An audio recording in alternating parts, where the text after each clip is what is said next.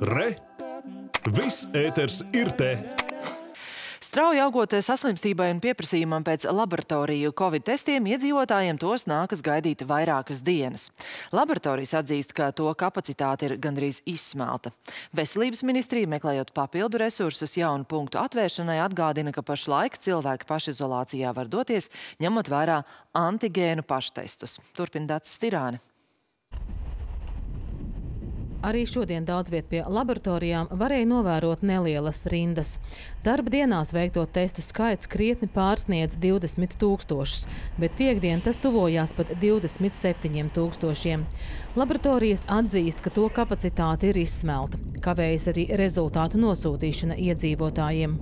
Diemžēl šobrīd parauga arī kavējas, un ar to jāņem vērā pacientiem, ka rezultāti kavējas tieši tāpēc, ka mūsu kapacitāte ir pilnībā noslogota un pārslogota.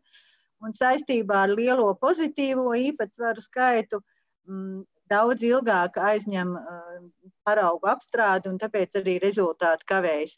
Veselības ministrija skaidro, ka pat labam meklē papildus resursus laboratoriju kapacitātes palielināšanai un atgādina, ka pietiek ar antigēna paštestu, lai dotos pašizolācijā. Šādu kārtību šonedēļ apstiprināja valdība.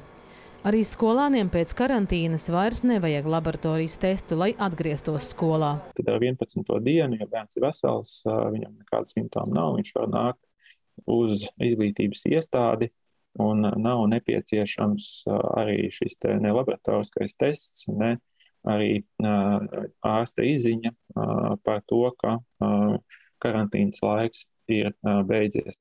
Lai situāciju normalizētu, ministrija vērtē arī iespēju noteikt prioritātes testa nodošanai.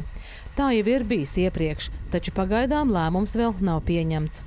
Tas ir ticis skatīts speciālistu vidū. Vienlaikus šobrīd nav nekādi gala lēmumi tikuši pieņemti. Pašlaik antigēnie testi dod iespēju doties pašizolācijā un atgriezties no karantīnas. Taču, lai iegūtu pārslimošanas certifikātu, joprojām nepieciešams laboratorijas tests. Dats Tirāna Latvijas televīzija.